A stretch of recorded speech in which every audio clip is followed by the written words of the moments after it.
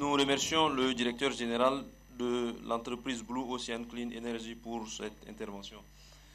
Monsieur le ministre du Pétrole et de l'Énergie, à vous l'honneur pour le discours de circonstance. Merci.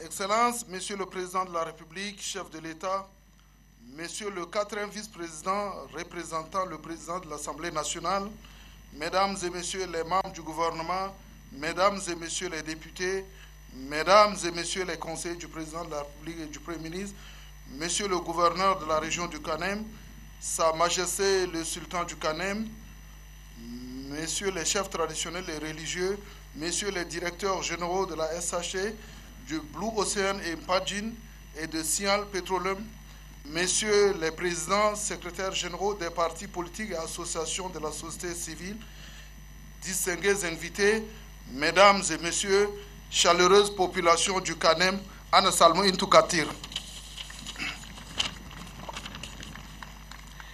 Les attachantes terres du Canem, dont la simple évocation nous renvoie à la glorieuse histoire et fascinante civilisation du célèbre empire Kanem-Borno sont aujourd'hui le théâtre d'un grand événement socio-économique.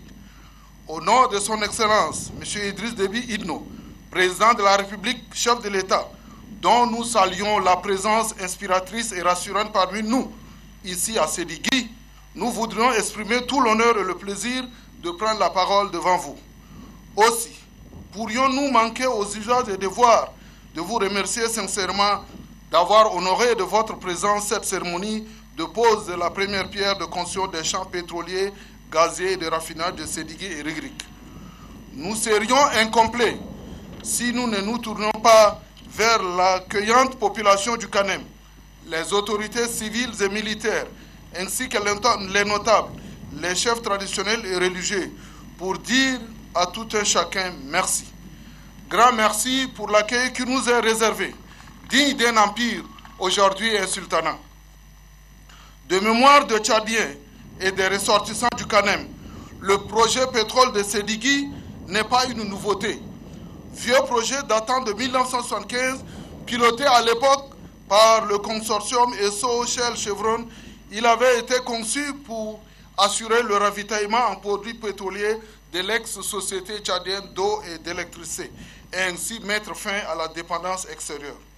Cependant, pour les trois sociétés pétrolières, le projet de Sédigui n'était pas économiquement rentable, quoique son brut de très bonne qualité et les réserves estimées autrefois à 15 millions de barils n'étaient pas aux yeux des entreprises occidentales pas suffisantes.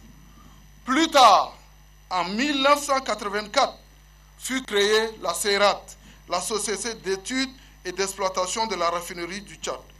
Un projet qui, à son tour, n'a pas abouti car ce fut un mort-né.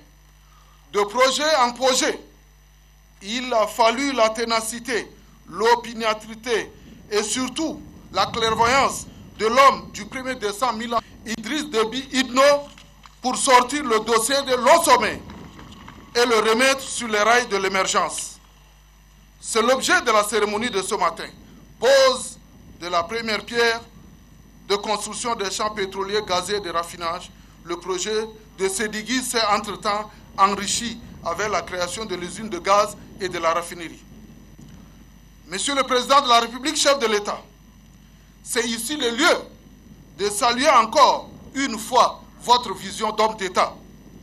Hier à Doba, à Koudaloa et Mangara, aujourd'hui ici à Sidigi et Rigrik, vous vous êtes battu pour faire aboutir ces projets qui n'ont qu'une finalité, le bien-être du peuple tchadien. Ce ne sont pas les difficultés actuelles qui nous feront oublier les bienfaits du pétrole dans la vie du Tchadien. Bravo à vous, digne fils du Canem, j'ai nommé le président de la République, chef de l'État, son Excellence Idriss Déby Idno.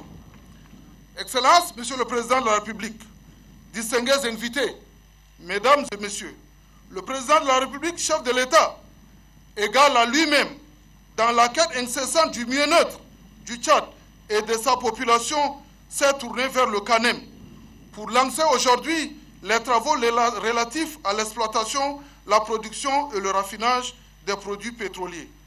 Par l'acte important de ce jour, le président de la République, chef de l'État, confirme à la face du monde sa détermination et sa vision stratégique de continuer à faire du Tchad un État moderne résolument engagé dans la voie de son industrialisation et de son développement. Avec la construction de ce nouveau site industriel, le Tchad se dotera d'une deuxième raffinerie après celle de Djarmaya. Tout ceci en moins de 10 ans. Qui dit mieux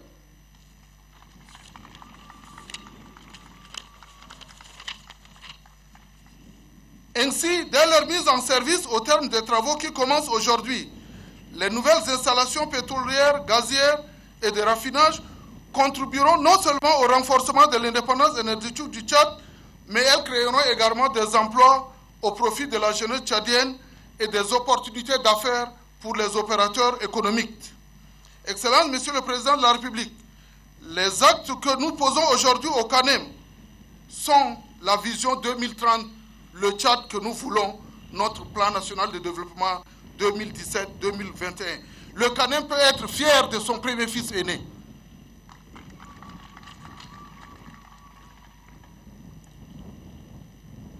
C'est dire que le projet qui sera exécuté par la Société des hydrocarbures du Tchad et ses partenaires est d'un intérêt national certain et avéré. C'est pourquoi une attention soutenue de la part de tous les acteurs concernés plus particulièrement de la zone d'implantation du projet est sollicitée. À tous, nous voudrions demander d'apporter votre concours sans faille pour la facilitation de la réalisation des travaux qui débutent aujourd'hui même. Ce projet étant l'affaire de tous, sa sécurisation nécessite de toute, de toute évidence l'appui multiforme de la population du CANEM. Au demeurant, cette région, la toute première à abriter une école publique dans l'histoire du Tchad, pourra compter avec la multiplication de diverses infrastructures pour son développement à l'instar des autres régions du Tchad. Excellences, Monsieur le Président de la République, distingués invités, Mesdames et Messieurs, à cet égard, nous voudrions pour notre part saisir de deux mains cette opportune occasion pour saluer et rendre hommage aux partenaires qui ont bien voulu nous accompagner par leurs ressources, leur savoir-faire technique et technologique. Une fois de plus, la coopération sud-sud et sino-tchadienne s'en trouve éloquemment illustrée et rehaussée. Nos remerciements vont aussi à tous ceux qui, de près ou de loin, ont travaillé d'arrache-pied à la réussite de cette manifestation au sein des différentes commissions sans oublier les divers prestataires de services. Nous ne saurions terminer nos propos sans adresser nos vifs remerciements à son Excellence M. Idriss Déby Idno, président de la République, chef de l'État, dont la présence effective a contribué à l'éclat et à la résonance de cette cérémonie. Vive la coopération Sud-Sud, vive le partenariat sino-tchadien, vive le Tchad. Je vous remercie.